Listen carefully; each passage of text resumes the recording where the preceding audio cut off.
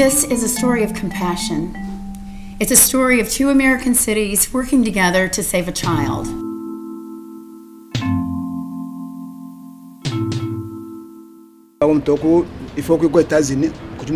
He was playing in the city in Kananga, playing hide and seek with some of his friends.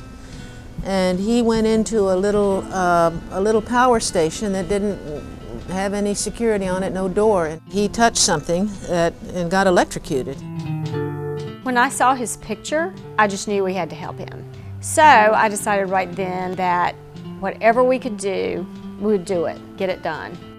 We had made a ski mask to cover the scarring and everything on the plane so people wouldn't stare at him. I just didn't want him to be scared. He was just, it was terrible. He could very easily have been left for dead. Uh, this, this type of injury is usually lethal. He's obviously very bright and I think he's got tremendous potential. Surely there's something that we can do for this little boy.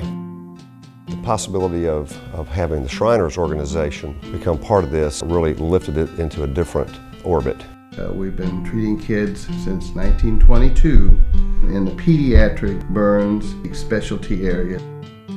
The good news is with just a few surgeries, we'll be able to help him a lot. He's a very, very tough little boy. Uh, you, you can't see it, realizing where he's been, where he's come, and what he faces every day deep burns heal by contracture, and so this child has suffered tremendous contracture.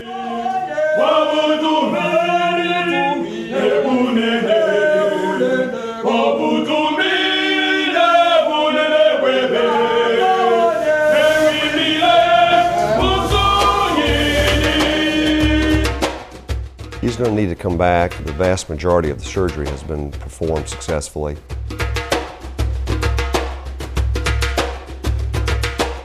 When he comes back, they're going to work on, on his cheek and they're going to tuck the eye up so that it looks more natural. Even though he does not have an ear, he does have some hearing. He will be able to swallow and he will be able to breathe normally. We're going to raise some more money and get him back here. About a bank of bucks. There's a lot more that can be done for him and should be done for him and he's almost there. We just we need to get him through this last surgery and it'll be amazing.